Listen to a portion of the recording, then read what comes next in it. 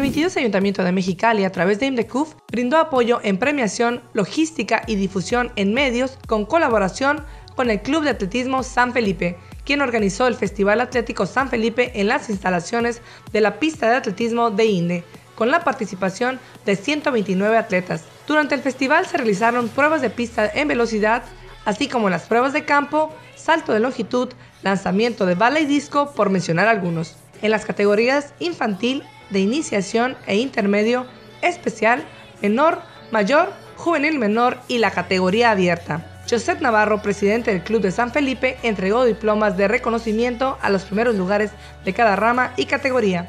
Si deseas saber más sobre los próximos eventos deportivos y competencias en la ciudad y el valle, síguenos en nuestras redes sociales a través de Facebook, Instagram y YouTube. Estas fueron las breves deportivas de Inbecu.